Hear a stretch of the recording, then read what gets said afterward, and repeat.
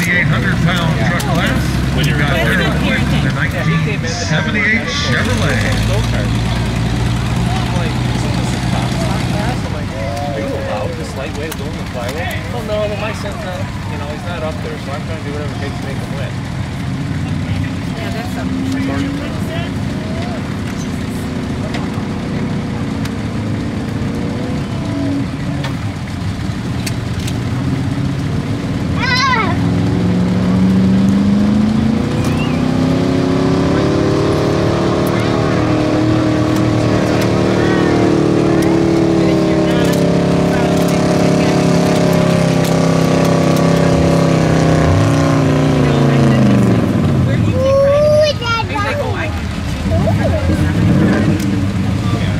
No, I understand that one. Like, when I, when I had my pony truck, I like design and build all the parts.